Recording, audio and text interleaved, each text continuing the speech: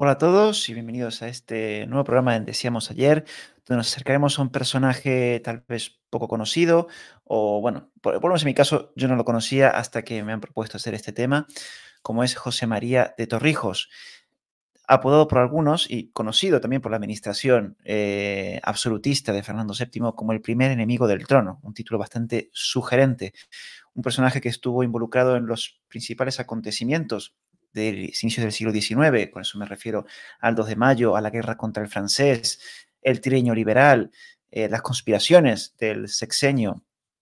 Eh, así que vamos a tratar de analizar este personaje en profundidad, conocerlo más de cerca, qué ideas tenía y, por ejemplo, también cómo veía a las secesiones americanas.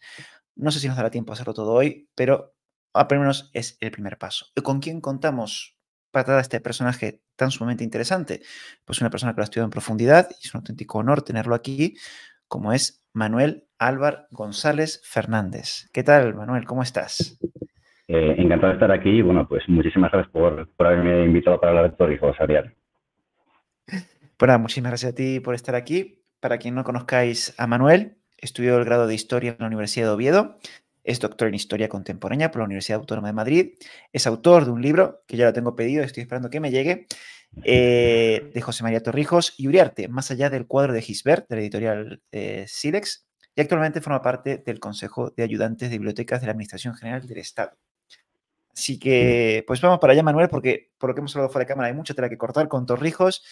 Y, si te parece, vamos a dar al público una pequeña descripción. ¿Quién es Torrijos? Antes de entrar en lo que sería su biografía. ¿Cómo definirías a Torrijos?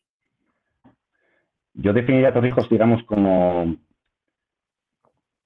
un personaje clave eh, para comprender lo que fue el, reinado de Fernando VII y lo que fue eh, la construcción del, del, primer Estado liberal en España, digamos, de la primera revolución liberal en España. Has mencionado ya, digamos, algunos jalones de su biografía, eh, y ciertamente es que Torrijos ya está en Madrid en el 2 de mayo del año 1808. Es un personaje que participa a lo largo de toda la guerra de la independencia contra, Napoleón Bonaparte y que una vez concluye la, guerra de la independencia, que no solo fue una guerra, fue también una revolución política, porque es la época en la que se reúnen las Cortes de Cádiz, declaran la Constitución, eh, con la vuelta de Fernando VII todo eso se deroga, se desarticula. Y Torrijos ya está digamos, en esa sección absolutista, esos, en esos eh, seis años, ya empieza a conspirar. Se convierte, digamos, en uno de los primeros opositores políticos a ese absolutismo de, Fernando VII. Y después, durante el trino liberal, él estuvo ligado, digamos, a lo que se conoce como la facción del liberalismo más exaltado, del liberalismo más a la, más a la izquierda, hasta el punto incluso de que en, en, el gobierno, digamos, más, más radical de la época, que es el gobierno de Álvaro Flores Estrada, él llegó a ser el ministro de la guerra. Este fue un gobierno que, por algunas conjuras, por algunas conspiraciones que nunca han quedado muy claras, no, no llegó a entrar en funciones, pero nos da una relevancia del personaje. Otro hecho, eh, otro dato, Torrijos es el, el, último militar que se rindió ante la invasión de los 100.000 hijos de San Luis en España. O sea, eh, la ciudad de Cádiz, eh, sitiada por las tropas del duque de Angulema, se rindieron en octubre de 1823, capitularon. Torrijos aguantó en Cartagena un mes más, aguantó todo noviembre. Él parte al exilio y es aquí, digamos, cuando él se convierte en, la leyenda, cuando, cuando Torrijos se convierte en un personaje verdaderamente legendario, porque, digamos, encabeza lo que va a ser la, oposición en el exilio a ese absolutismo de Fernando VII. Eh, efectivamente, como tú dijiste antes, la administración muy preocupada lo considera el primer enemigo del trono y va a encabezar el último pronunciamiento, el último intento revolucionario contra Fernando VII. Este fue un hecho que que quedó plasmado en el, bueno, el cuadro que da título al libro, eh, el, cuadro de Antonio Gisbert, los fusilamientos en la, en la playa de, Málaga, eh, fue un hecho, fue, fue, un acontecimiento que quedó muy ligado dentro de lo que es el, imaginario liberal español. Eh, Torrijos se convirtió en un mártir. problema, fue una escena muy potente, cayeron víctimas de una traición, bueno, visualmente es, es, muy poderoso, pero el problema es que Torrijos quedó ligado a eso, quedó ligado a, esa última conspiración, quedó ligado a la playa de San Andrés y el resto de su periplo vital, que ayudó a entender mucho mejor ese reinado de Fernando VII y esa revolución liberal, quedó muy difuminada, que es un, un poco lo que, lo que yo bueno, y otros, historiadores que le, que le han tratado, eh, bueno, pues hemos intentado recuperar en los, en los últimos años. bueno, ya tenemos esas pequeñas pinceladas, ahora vamos a ir más mm. en detalle. Vamos a hablar un poco de los orígenes de Torrijos, de su familia. ¿De dónde venía eh, José María Torrijos? Muy interesante los orígenes de, José María Torrijos, eh, porque nos ayuda a entender mucho mejor el, gran potencial del, liberalismo. Torrijos es muy curioso. Torrijos viene de la corte, viene de la corte del rey Carlos IV. Su padre, de hecho, estaba muy, estaba muy ligado al, monarca y en general toda su familia desde, desde hacía un siglo. Él ya tenía abuelos que habían estado, digamos, como secretarios del, rey Felipe V. Y, y, él comienza la carrera de las armas. Y vemos un poco cómo era la carrera de las armas con la mentalidad del antiguo régimen. Torrijos con 10 años ya es capitán, capitán del ejército español. Tiene unas perspectivas realmente buenas. Él es hidalgo y él está ligado a la corte. Eh, por una cuestión familiar, por una cuestión de sangre, él ya, digamos, está predestinado a tener una carrera realmente prometedora. Eh, esta organización del ejército español, ¿cuándo estalla por los aires? Estalla por los aires con el comienzo de la, guerra de la independencia, porque, digamos, el antiguo régimen se desmorona. El, rey, Fernando VII, se va de manera completamente voluntaria a Francia y es hecho prisionero. Digamos, toda la administración eh, absolutista asume el cambio de, dinastía, asume a, José Bonaparte, y lo que es la guerra de la independencia, nos encontramos con que eh, quienes tienen los principales cargos de, oposición militar eh, no son aristócratas, que son quienes realmente deberían de ser los, generalísimos con la mentalidad del antiguo régimen. Nos encontramos con que eh, campesinos empiezan a ser generales. Nos encontramos al empecinado, nos encontramos a, Francisco Mina nos encontramos a, un personaje de un origen oscuro como es eh, Juan Díaz Porlier, que lo vayan a llamar el marquesito, eh, pues siendo los líderes militares contra, contra la ocupación de, Napoleón. ¿Qué ocurre con Torrijos? Torrijos, esa guerra, que insisto, está desde desde el principio, empieza a ascender mucho, pero ya no asciende, digamos, por lo que le debe a su familia. Él empieza a ascender por el valor que demuestra en el campo de batalla. Es un, es un valor que, digamos, está, está muy constatado eh, por toda, digamos, la, documentación que tenemos de la época. De hecho, eh, se lo toma tan en serio que él, eh, él es hecho prisionero mm, relativamente pronto y se lo llevan a Francia. En el, se lo llevan a Francia y él es de los pocos españoles que al principio de la guerra escapan de Francia y llegan a, llegan a España a, continuar con, con, aquel conflicto. Yo creo que él realmente encontró que el liberalismo, claro, el liberalismo premia el mérito, premia la capacidad y premia el talento por encima de, por encima, digamos, de lo que es el, privilegio estamental. Y yo creo que eh, es muy importante entender esa, fascinación que él sintió por el liberalismo, lo que supuso para él esa experiencia de la guerra. Eh, voy a recomendar un libro sobre el Torrijos de, la, de, la, Guerra de la Independencia. Es un libro reciente, es del año 2019, es de Estrella Alcántara Alcaide, se llama, bueno, pues Torrijos y la Guerra de la Independencia. Eh, bueno, pues eh, la verdad que es un estudio bastante, bastante en profundidad sobre todos los periplos que él va teniendo a lo largo de esta guerra. Otro aspecto importante es contra quién luchaban.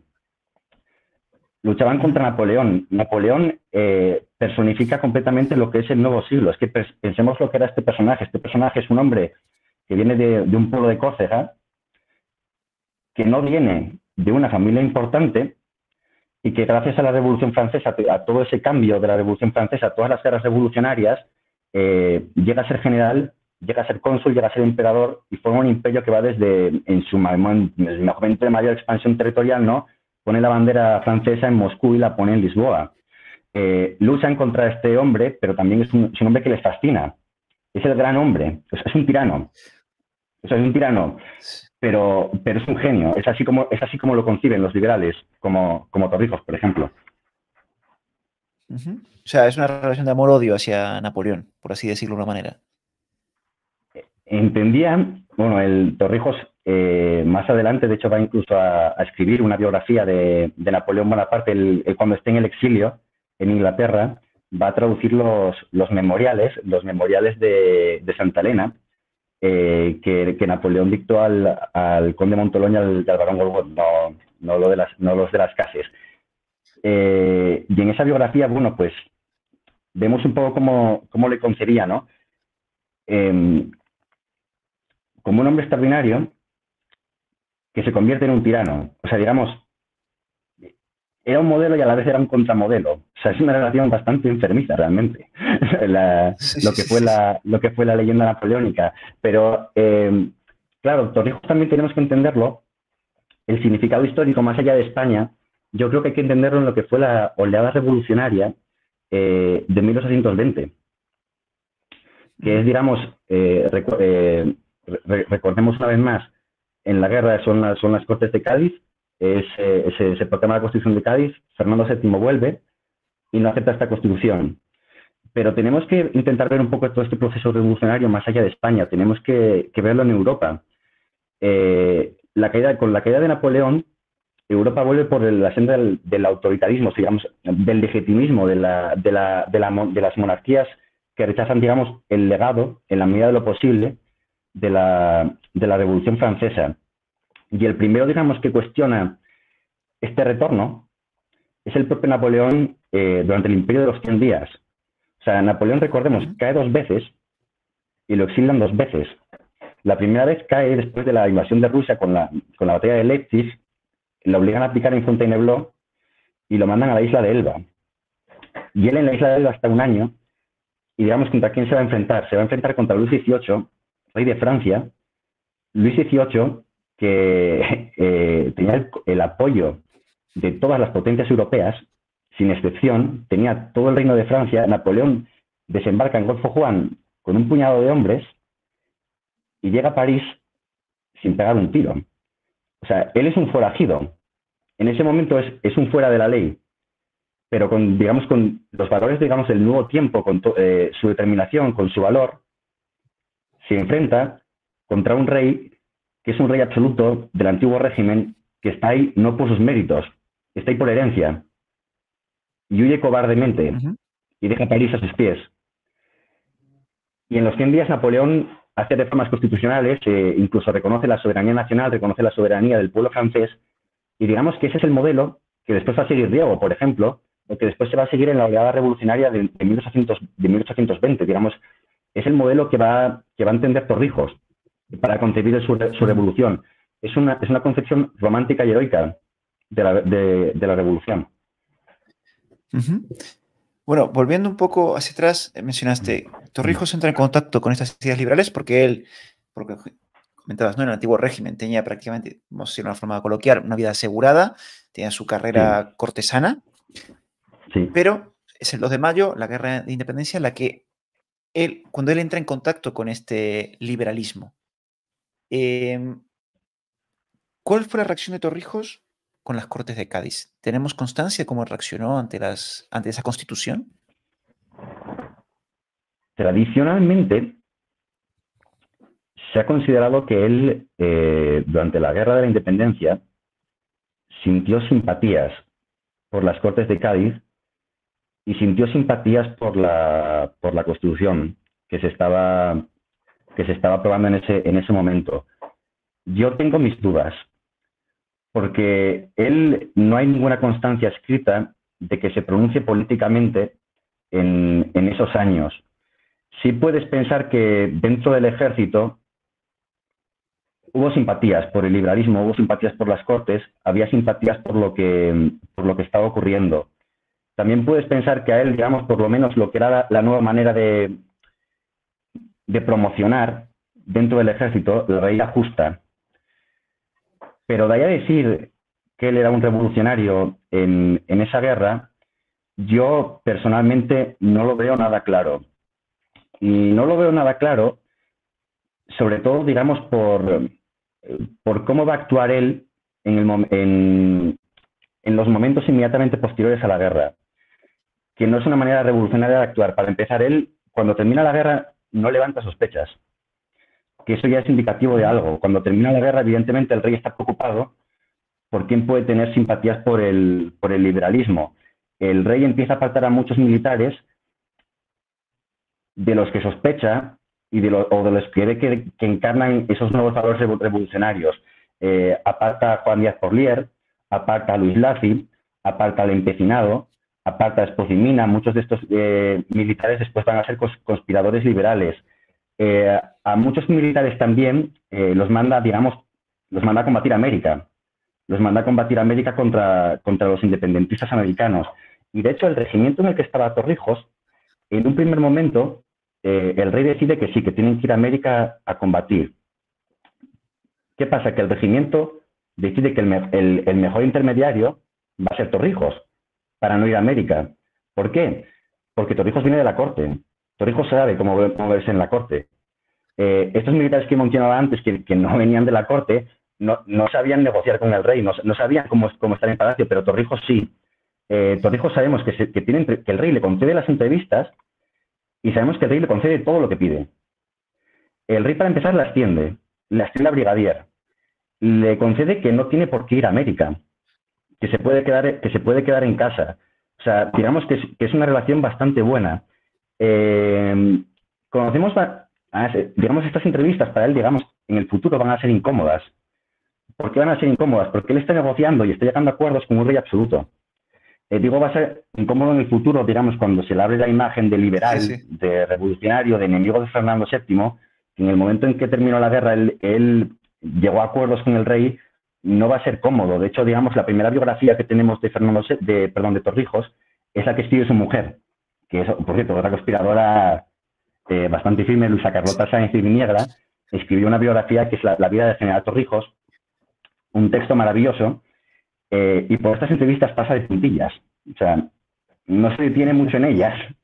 Y de hecho, además, eh, es bastante curioso porque ella, las, ¿cómo lo expone en el libro? Porque en el libro, en este libro, termina la guerra de la independencia, el rey vuelve y tiene la entrevista con Torrijos. Realmente no fue así. Realmente termina la guerra de la independencia, el rey da un golpe de Estado, deroga la Constitución y luego ya, cuando es rey absoluto, tiene la entrevista con Torrijos. ¿Qué pasa? Que en el futuro Viniegra, bueno, en el futuro, ¿sabes? Eh, tenemos que en, la, biografía no está muy cómoda narrando este encuentro, pero lo narró en otro momento. O sea, eh, Torrijos lo van a hacer prisionero en 1817 por estar metido en una conspiración liberal en Murcia. Y su mujer se va a mover muchísimo para liberarle y va a mandar muchas súplicas a, Palacio, pidiendo por su liberación. Su mujer y otros familiares, eso está todo en el, Archivo General de Palacio. Y ahí Viniegra ya sí habla más de las entrevistas.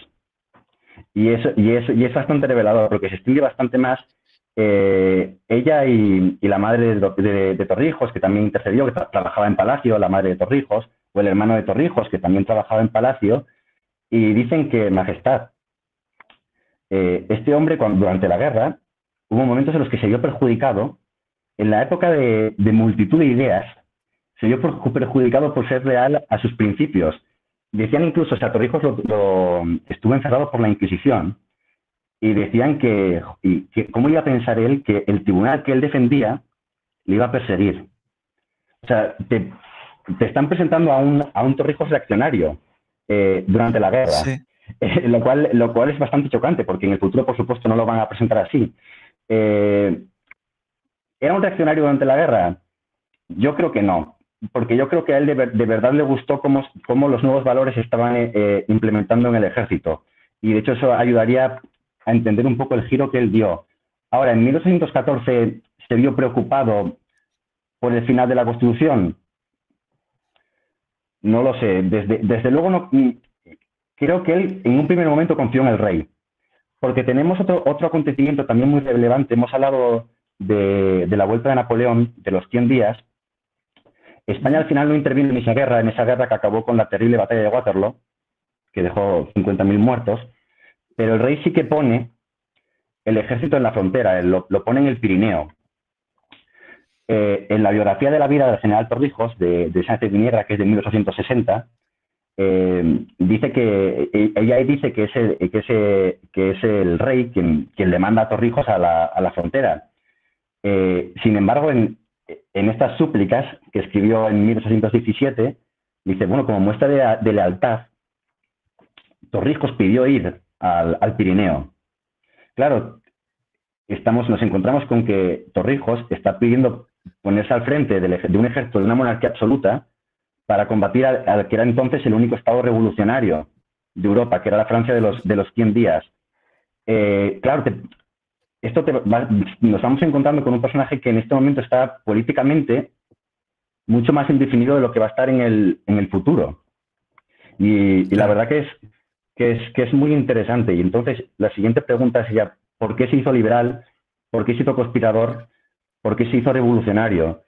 Y mi opinión, y un poco a raíz de lo que yo he investigado, diría que la empatía.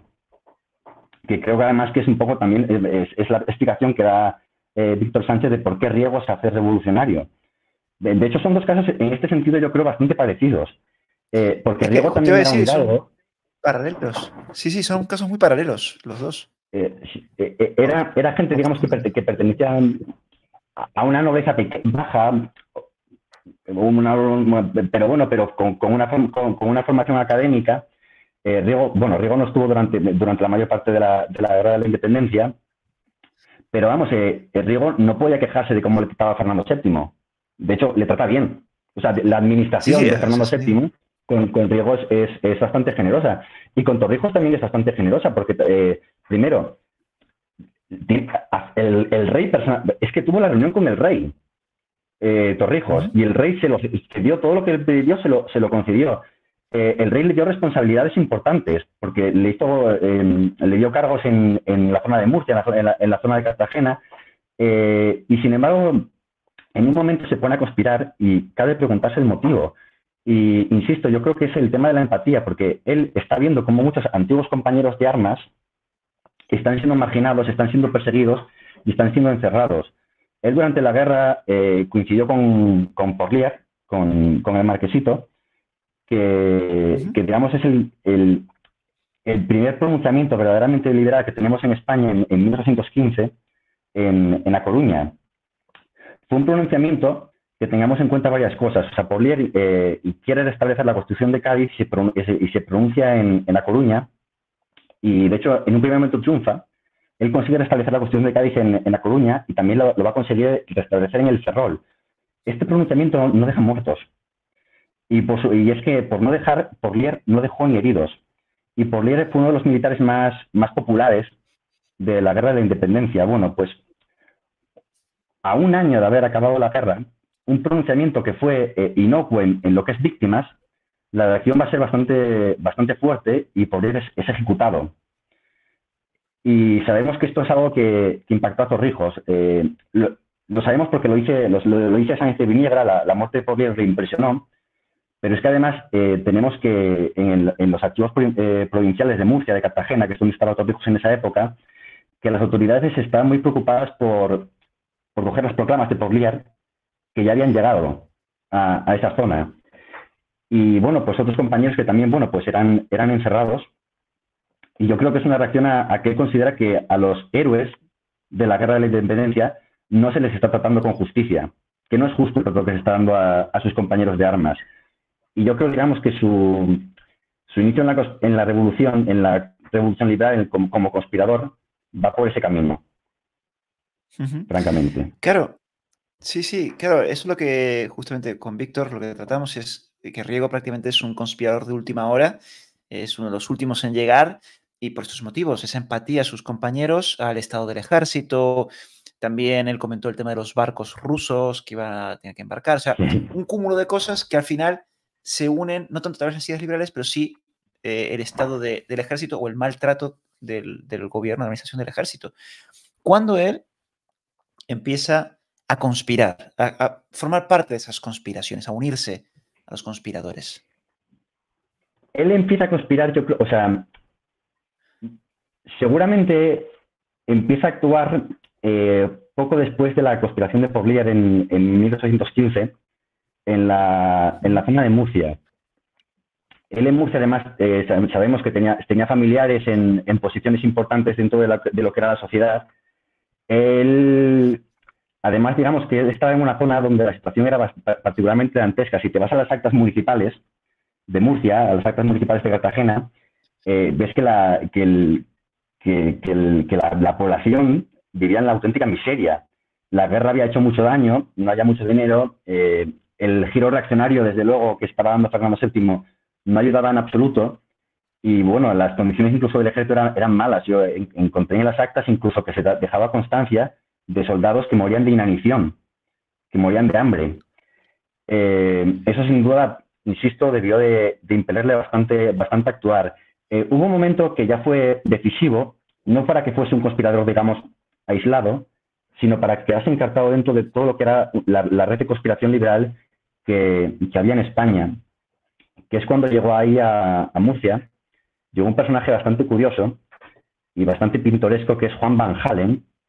Eh, Juan Van bueno, es, eh, todo, todo un aventurero. Eh, si no lo conocéis, por lo menos el primer dato que habría que dar es que, es que acuñó el, el tristemente célebre término de las dos Españas, mucho más usado para una época más reciente, quizá más dura, pero bueno, lo, él lo acuñó en esa época y la verdad que es que el, término a él le va, le va al pelo. Estamos hablando de un, de un personaje gaditano eh, que durante la, durante la Guerra de la Independencia combatió con, estuvo con los afrancesados, estuvo, él fue un militar fiel además a, a, José Bonaparte.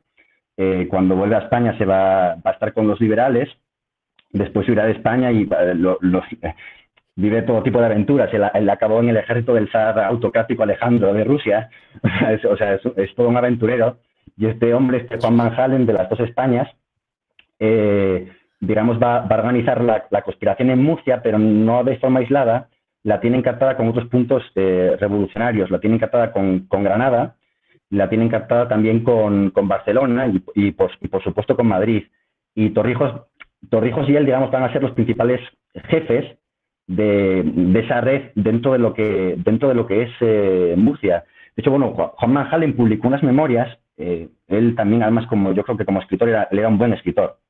Pues, las memorias de Juan Manhalen son, son dignas de, de una película. En un determinado momento, eh, a Juan Manhalen le, bueno, le, hacen prisionero y él, bueno, lo, meten en las celdas de la, de la Inquisición y esto fue una cosa también que, en su momento generó bastantes dudas sobre si él estaba diciendo la verdad o estaba mintiendo. Porque él pide, a Juan Van Halen, que le quiere dar explicaciones de lo que está pasando en Murcia al rey de España. Y lo pide, hay constancia en el Archivo General de Palacio, y el rey cede, el rey le da la entrevista. Y esto es, es un encuentro que, Juan, que Van Halen contó en sus memorias, pero que generó muchas suspicacias. Muchos pensaban que, que estaba, que estaba mintiendo sobre lo que, sobre lo que había ocurrido, pero en el archivo del Palacio no, hay duda. O sea, se le concede la entrevista, la entrevista la tiene y él, él no da nombres. Él no, él no da nombres, digamos, él intenta engañar al rey, el rey no se deja engañar y entonces a Juan Manjalen le torturan, le someten a tortura y quiere que diga los nombres de los conspiradores de Murcia y además estaban muy interesados en que confirmase que Torrijos estaba dentro de la, de la conspiración, eh, algo que no hizo. Y de hecho, y esto digo, está dentro de lo que es las, el, el, el, documento de archivo, de que el, digamos, de, uno del inquisidor eh, decía, eh, va a morir antes que delatar a nadie. Y eso está escrito. Y bueno, Juan, Juan se escapó. Se, escapó de la cárcel y es cuando se tiene que ir de España, es bueno, cuando va a acabar llegando a Rusia. Pero bueno, insisto, es que es, es, es, es un digno de, de, una película. Eh, la cosa es que, además, eso, si pensó que, que Van Halen quizá habría delatado a Torrijos, porque poco después a Torrijos es verdad que le, que le encierran. Pero en, en, las actas de Palacio se dice que no lo ha hecho. Se dice explícitamente, va a morir antes que, que, dar nombres, va a morir. Entonces, otra persona creo, que te, creo, que te, acabo de, de, de demostrar un personaje bastante interesante también. Sí, sí, sí, sí, sí, sí. Sí, sí, sí, sí. pero ya, ya, lo he apuntado porque es muy interesante o sea, acabar en Rusia eh, con ese... Entonces, claro, Juan Van Halen, por lo, lo, que dicen las actas, no lo delató, pero aún así lo encierran. Es decir, otra persona lo, lo delata o ya por simple sospecha, es decir, a este lo tenemos que... Yo, yo, tengo una, yo tengo una teoría sobre quién el delató, eh, porque es verdad o sea, que, es muy raro que, lo pudo haber relatado. Yo no estoy al 100% convencido, pero, pero al 80% sí. Eh, ¿Qué nos encontramos que, estaba dentro de esta? Si empezamos a mirar las actas, encontramos que, hay sospechas de que hay un personaje, también muy próximo a Riego, por cierto, que está dentro de la conspiración, que es el conde de la Bisbal, que va a estar en, la, conspiración del Palmar, digamos que es, ciertamente el que debía haber sido el héroe de 1820, no era Riego, era, el conde de la Bisbal. Eh, pero las actas dicen, no, no teníamos muy claro si es un doble agente o si verdaderamente es un conspirador. Eh, ¿Qué pasa? Que seguramente serían las dos cosas. Sería, eh, la Bisbal es un personaje, la Bisbal fue regente durante la época de las Cortes de Cádiz, y la Bisbal es un personaje que, bueno, yo, eh, no sé si esto es una leyenda, una leyenda o, si realmente fue, pero vamos, yo lo que he leído es que cuando Fernando VII vuelve a España, cuando termina la guerra, él manda a un emisario a darle la bienvenida con dos cartas en una eh, se la tenía que dar en el caso de que aceptase gobernar con la Constitución y en otra en el caso en que no quisiera reinar con la Constitución y en las dos le daba la bienvenida. a tope con Fernando VII. Eh, es un personaje que está, con los conspiradores del Palmar, a los que traiciona. Eh, después, cuando Riego triunfe, va a traicionar a Fernando VII y aquí estaba en la conspiración de Murcia, está encartado. Y yo creo que, eh, claro, la administración de Fernando VII se dio cuenta de que él estaba ahí, él le vio enterarse de esto y dijo, pues le entrego, yo doy, yo, yo, doy nombres, soy un doble agente. Y, yo, eh, yo me, me, cuadra perfectamente con la, con la actitud del personaje, con la forma que tuvo de actuar previa y que tendría posteriormente totalmente y, y eso, y, es que estaba ahí. O sea, yo si tuviese que apostar por, por quien le delató, diría que él, el conde de la Bisbal. Ostras, o sea, es un superviviente el conde de la Bisbal. O sea, le da igual. Eh, es, eh, vamos a ver, es una época en la que, en la que tienes a, a gente cambiando de bando constantemente por, por sobrevivir. Es que, a ver, es que con Fernando VII al más mínimo paso en falso, al más mínimo paso en falso, ahí, ahí te quedas. Entonces, eh, sí, entonces yo, yo, yo diría que fue él. Y, estos años de encierro van a ser van a ser fundamentales, yo creo, también para la, para la exaltación política del, del personaje posterior. O sea, pues, pues, son años, él está, ya está, él hasta que no triunfa la revolución de Riego no, no sale. No le, encierran primero en, en, el castillo de Santa Bárbara, en Alicante, y después se, lo llevan a las celdas de la Inquisición en Murcia, que eran en unas condiciones eh, bastante, bastante malas. Eh, pero él estuvo perfectamente comunicado con el resto de conspiradores hasta, hasta, hasta 1820. O sea, cuando estalla la revolución, en 1820, con el pronunciamiento de Riego, no le pilla desprevenido, eh, porque le está teniendo en, en, comunicación eh, su mujer. Eh, Luisa Carlota Sánchez de Viniera le, eh, estaba en comunicación con los revolucionarios y le iba pasando la, la información. ¿Qué pasa? Que el mantenimiento de los presos salvo que no pudiesen, correr a cargo de los propios presos y que le llevaba la comida era Sánchez de Viniegra y le metía toda la información eh, en, los cubiertos. Y, de hecho, y de hecho, claro, en la revolución de 1820 eh, no es no solo la, o sea, Diego, digamos, es el más importante. Es, sin él no habría habido revolución de 1820. Pero a Diego recordemos que le van secundando en toda España, le secundan en La Coruña, le secundan en Zaragoza, en Barcelona, en Oviedo y en Murcia, quien hace el pronunciamiento es Torrijos. O sea, los, liberan de la cárcel y toman, bueno, o sea, de hecho, la, toman en dos días, la toman el, 29, el 29 de febrero de 1820 y el 12 de marzo. El 29 de febrero, el 29 de febrero tomaron la catedral, tomaron el ayuntamiento por asalto y luego ya el 12 de febrero es cuando, el 12 de marzo, perdón, es cuando proclamaron la, Constitución en, en Murcia. Entonces, por lo que entendemos ya, acá tenemos un Torrijos ya no solo conspirador, sino también un convencido liberal o todavía mm. falta para verlo. Es un convencido liberal y es aquí, digamos, donde es un convencido liberal. Digamos, a ver, el problema del liberalismo en España es que, digamos, em, ya estaba dividido en dos, pero todavía no se habían dado cuenta porque la Constitución de Cádiz es una constitución eh, muy radical. Es, muy, eh, eh, es, una constitución que limita mucho los poderes del rey, es una constitución que establece un sistema de sufragio prácticamente universal eh, y, unas únicas cámaras, o sea, unas cortes con una única cámara que, tiene un, poder muy fuerte. O sea, es una monarquía asamblearia.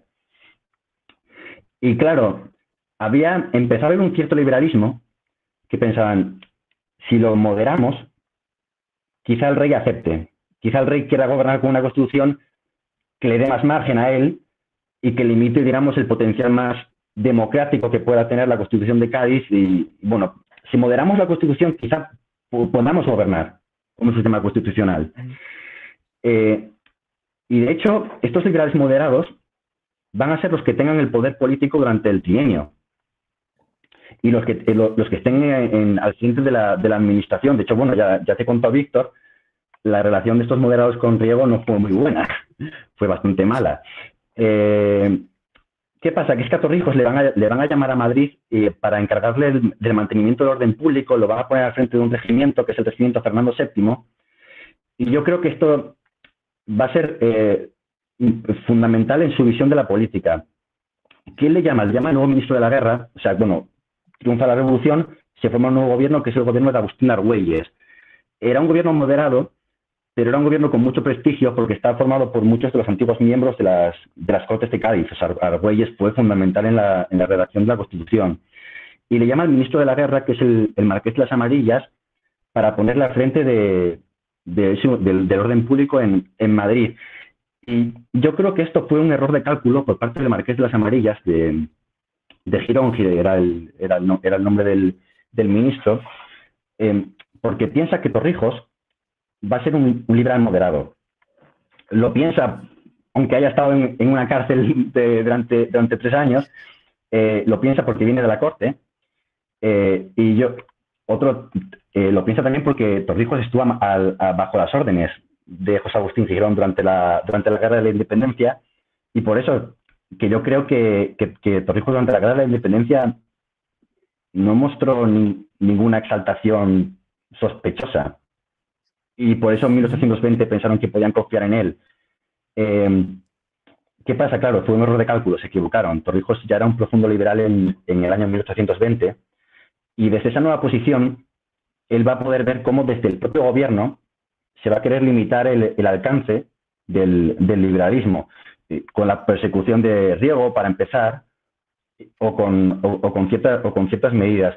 Y aquí, mira, aquí nos encontramos también con otro acontecimiento legendario, en la, en la vida de Torrijos, yo creo que Torrijos hay que entenderle con varias facetas.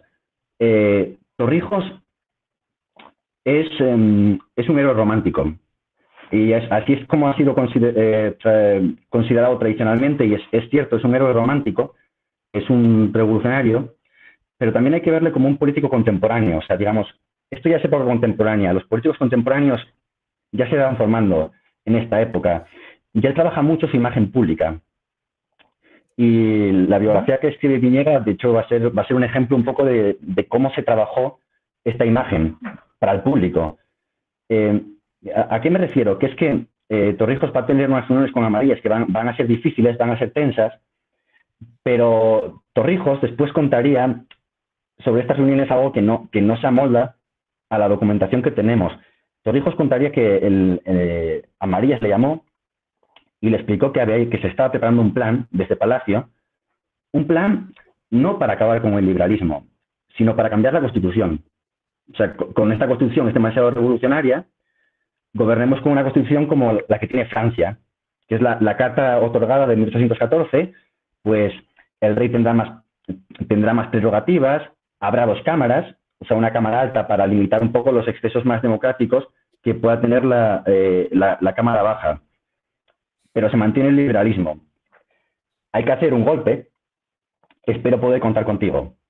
Y, y, y para que te animes a participar, te vamos a hacer mariscal y te vamos a hacer alcalde de Madrid.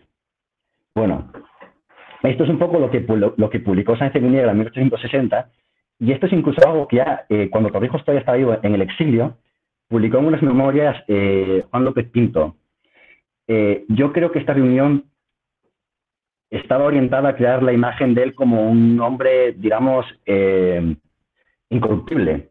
era el incorruptible, o sea, el, hombre que es tentado, pero que el patriota tentado, pero bueno, que se mantiene fiel, a sus principios. Eh, esta reunión no, no, pudo ser así de ninguna manera. Eh, sabemos perfectamente que si Fernando VII desde el principio planificó una contrarrevolución, eh, esto lo ha muy bien La Parra en, la, en su biografía de Fernando VII, pero en ningún momento pensó en poner una constitución como la del 14. Eso para empezar. Segundo, Fernando VII nunca colaboró con las amarillas en la contrarrevolución. Fernando VII no confiaba en el Marqués de las Amarillas. De hecho, el Marqués de las Amarillas publicó unas memorias también, eh, en las cuales no tiene ningún problema en decir cómo él se opone al régimen revolucionario. Y eh, en ningún momento explica que tuviese este plan. Él, eh, de hecho, el único momento en que él habla de, del cambio constitucional es cuando el golpe de Estado, de, hay un, hubo un golpe de Estado el 7 de julio de, de 1822, eh, por la cual los moderados, algunos moderados, cuando él ya no estaba, sí que pensaban que quizá podía ser el momento de hacer un cambio constitucional. Eh, las amarillas también dice de ese día que en caso de haber triunfado ese golpe, el rey habría vuelto al absolutismo y a él le habría hecho prisionero, al marqués de las amarillas, porque no confiaba en él. O sea, no, tenían una buena relación, no, no, estaban coordinados el rey y las, y las amarillas. O sea, esta reunión no, no pudo ser así. O sea, seguramente, seguramente el, marqués de las amarillas le daba toques esa atención. Y, y, aquí yo creo que el marqués de las amarillas en sus memorias es más sincero. Y no, lo creo por un motivo. El marqués de las amarillas, las memorias, no, no las publicó. Eran unas memorias para su familia, para sus hijos no era para justificarse ante la historia, no era para justificarse ante el público, era para su, para su familia. Se publicaron, o sea, después la Universidad de Navarra las, recuperó y las publicó, pero él no quería publicarlas. Eh, y cuando lo, que dice estas uniones es que él apreciaba a Torrijos, eh, quería que se moderase, y él aceptaba moderarse, pero luego otros, y sobre todo su mujer que lo dominaba, lo llevaban por el mal camino. O sea, eh, vamos, o sea, que yo creo que sencillamente, digamos, eso, eh, yo creo, que lo que nos estamos encontrando es que Torrijos se radicaliza porque ve que hay un intento de moderación excesivo por parte del gobierno. Y por supuesto, insistir una vez más en el papel que tiene su esposa en, el personaje. O sea, es un, es un tándem, Torrijos Viniegra.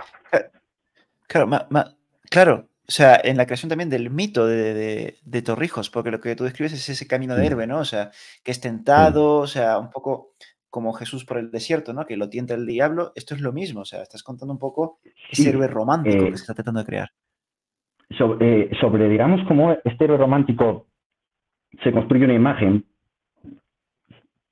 para, para legitimarse políticamente, hay un libro buenísimo de Alberto Cañas de Pablos que se llama eh, Centauros Carismáticos que él analiza algunas, algunas figuras, eh, analiza Riego, por ejemplo, eh, eh, de esta época, que esos, digamos, como, como, como esos militares de estas, de estas guerras revolucionarias después se van construyendo una imagen para legitimarse la, conquista del poder político y, y, un poco que eran los únicos que podían dirigir ese caballo desbocado que es la, que es, que es, que es la revolución.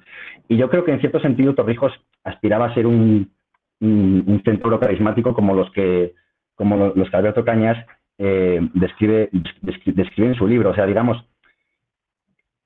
que, que él, eh, política, él, trabaja su, imagen política. De hecho, en el libro lo analizo, trabaja la imagen que transmite en prensa. O sea, él tiene una prensa afín también, que va ahondando un poco en esta imagen porque veremos que él, digamos, lo van perjudicando también.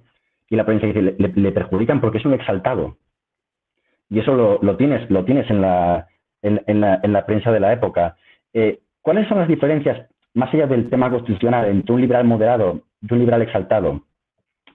El liberal moderado, el liberalismo moderado, eh, considera, digamos, que debe ser todo, em, o sea, es, es, es, un gran apoyo, digamos, de lo que es el, eh, la, la, ley y la autoridad constitucional. Digamos, la política se tiene que hacer en las Cortes y se tiene que hacer según lo prescrito por la Constitución, la que está vigente es la Constitución de Cádiz. Eh, ¿Qué opina un exaltado? Un exaltado vale, sí, dice, las Cortes son importantes, la Constitución es importante, pero no debemos olvidarnos de, digamos, lo que es el apoyo popular. El régimen es débil, tenemos que conseguir que haya un apoyo masivo. Son importantes las sociedades patrióticas, es importante la milicia nacional, son importantes las, manifestaciones, es importante que, digamos, y esto sí que define a Torrijos, que el, gobernado vigile en todo momento al gobernante, que es, digamos, lo que va a definir toda la trayectoria eh, política de Torrijos. Eh, y es aquí, donde, digamos, donde, donde hay un conflicto entre ese liberalismo moderado y ese liberalismo exaltado. Ese liberalismo moderado que a veces va a querer entenderse antes con absolutismos, absolutismos moderados que con los liberales exaltados, por ejemplo. Claro. Y bueno, quiero decir... sí, sí, sí, por favor, por favor. No, no, Manuel. No, bueno, eh, solo iba a decir que quiero insistir mucho en, el, en esta idea de Torrijos como un liberal exaltado, porque hay una historiadora que es Irene Castel Soliván, que es, eh, bueno, eh, tristemente fallecida, que es la, la, historiadora que ha dedicado más páginas a Torrijos, iluminó mucho sobre el conocimiento del personaje. solo yo, pero que le pondría es que ella dice que Torrijos no era un liberal moderado en absoluto, pero tampoco se debe considerarlo nunca un liberal exaltado. Ella dice que se encontraría un poco en un término medio, habla de un liberal químicamente puro. Pero es que yo, cuando, he indagado en Torrijos, me he encontrado que tanto sus aliados políticos como sus opositores políticos le consideran un exaltado.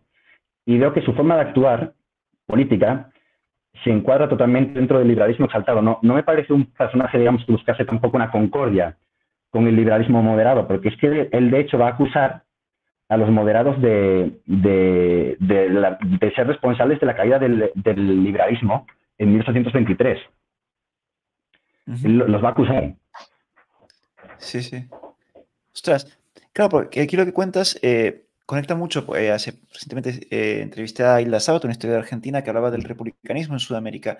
Y justamente eh, encontramos este tipo de situaciones, estos militares que se levantaban o se pronunciaban porque consideraban que el que estaba en el poder era un tirano o no, o, no gobernaba correctamente. Es esto que tú comentabas, ¿no? Del, el gobernado controla al gobernante y llegado el caso es legítimo una manifestación, un pronunciamiento o lo que sea para quitar ese, ese, ese gobierno. Eso también estaba aquí. O sea, eso, eso, ese mundo hispano todavía sigue ciertamente conectado en, la concepción del liberalismo exaltado.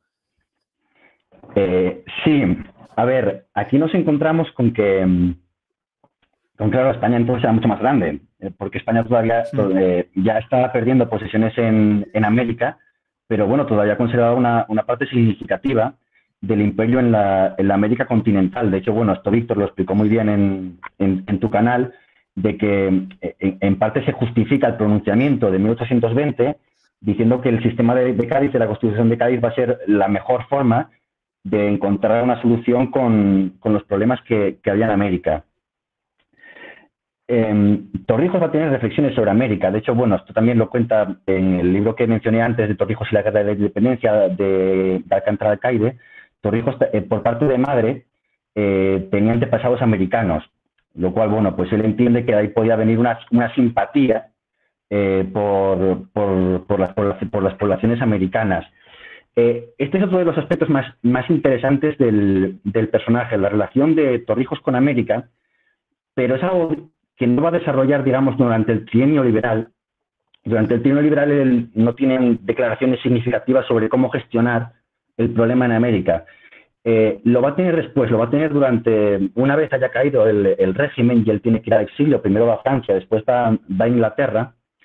El Inglaterra, digamos, es cuando llega, digamos, a una plenitud en lo que es concebir, digamos, una, eh, redefinir lo que tiene que ser España, lo que tiene que ser también el, liberalismo.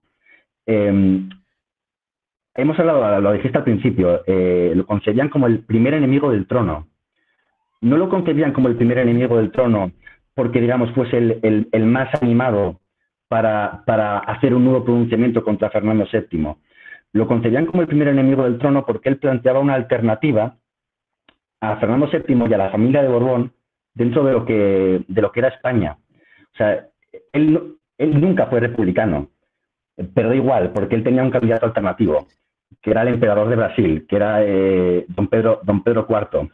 Eh, ¿Por qué?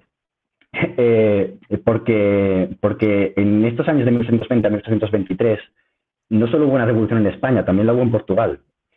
Eh, y durante esa revolución el Brasil se independizó. Pero la independencia de Brasil no tuvo nada que ver con la independencia de las colonias españolas en América. Eh, el rey de Portugal era don Juan VI, que está en Portugal, pero tiene a su hijo gobernando Brasil. En Brasil hay eh, muchas ansias independentistas porque Brasil ya claramente cada vez es más importante. Y el presidente, don Pedro, para evitar lo que está pasando en la América Española y lo que antes ya había pasado en la América Británica, en las, en las 13 colonias, decide que lo más inteligente es aceptar lo inevitable. Independiza Brasil, de esta manera evita una guerra civil en, Brasil, evita que Brasil se rompa como se rompieron las repúblicas hispanoamericanas y además mantiene una monarquía con un, con un Braganza en Brasil. Eh, don Pedro en Portugal va a gobernar con una constitución, él concede una constitución a, Portugal, a, Brasil, perdón, la concede en 1824. Pero ese cuando muere su padre, a él le dan también el trono de Portugal y al mes de llegar a Portugal concede una constitución a Portugal. O sea, ella, eh, don Pedro es una persona mucho más dinámica eh, de lo que podría ser Fernando VII, en el sentido de que entiende mucho mejor ya el tiempo en el que está. O sea, hay que gobernar con una constitución. No eran constituciones muy radicales, pero eran constituciones. Eh, y claro, una parte del liberalismo español empezó a pensar, con este rey sí se puede gobernar de una manera constitucional. podría ser una alternativa y además podría ser la oportunidad de reunificar España y Portugal. Em, pero no solamente es una cuestión de reunificar España y Portugal, es qué hacemos con América. Eh, Torrijos en, Inglaterra, él, tradujo, eh, tradujo eh, las memorias del general Miller, un general británico que había colaborado en la, independencia del, Perú, y él introdujo un prólogo. Es, un prólogo muy interesante en el que él hace toda una historia en ese prólogo del, Imperio Español en América. Y, sus reflexiones son, son muy interesantes. Él eh, a los independentistas americanos eh, los llama patriotas. Los llama patriotas porque entiende que combatían contra el mismo enemigo, el enemigo era Fernando VII, y combatían contra el absolutismo. O sea, ellos lo que querían era establecer una, sociedad libre en América, como él la quería establecer en España. Y la guerra no era una guerra contra España, era una guerra contra el absolutismo y contra el rey. O sea, eh, eh, eran hermanos y de alguna manera había que recuperar esos lazos. Evidentemente lo que era el imperio ya era, o sea, era, digamos, era imposible hacerlo y sobre todo, digamos, en, los términos en los que un Fernando VII quería, querría rehacer ese imperio. Pero una España y Portugal reunificadas bajo un régimen liberal con don Pedro de, de Braganza, quizá podría reencontrarse con América, aceptando estos principios liberales y aceptando estas independencias. Y, otra, otra cuestión también que quiero remarcar es, es muy interesante la, el cómo Torrijos en este prólogo, o sea, no solamente evalúa lo que son esas independencias y cómo puede ser el futuro de ese, de, ese Estado ibérico en esa relación con, el mundo americano. Eh, es muy interesante el cómo él entiende lo que América ha supuesto para la historia de, España. Y él concebía que en términos generales para lo que era la libertad de España había sido una desgracia, porque él concedía que, digamos, en, lo que era la España medieval, el rey no era un poder absoluto. El rey se debía a unas cortes, porque eran las cortes, digamos, las que gestionaban los asuntos fiscales. O sea, el dinero del rey podía disponer, digamos, para llevar a cabo sus, sus políticas. El rey no era una autoridad absoluta, era la primera autoridad, pero estaba muy limitado, estaba muy controlado. ¿Qué supone América? América supone unos caudales inmensos, el rey con ese dinero se hace independiente. ¿Y qué hacen los reyes con ese dinero? Pues llevan a cabo guerras que responden a intereses del rey y de su familia, pero no a intereses de España. Eh, claro, o sea, todo el dinero que los reyes de España hayan dejado en Flandes, por ejemplo. ¿Qué interés tenía para España Flandes? Pues realmente ninguno, desde la perspectiva de, un liberal. Eh, entonces, era, una condena un poco en ese sentido de lo, que había supuesto en América. Por una parte, lo concebía desde esa perspectiva, pero también responde a las críticas sobre el imperio español en América que podía conocer, que, conocía en Inglaterra y que conocía en Francia, eh, de que la gestión había sido nefasta.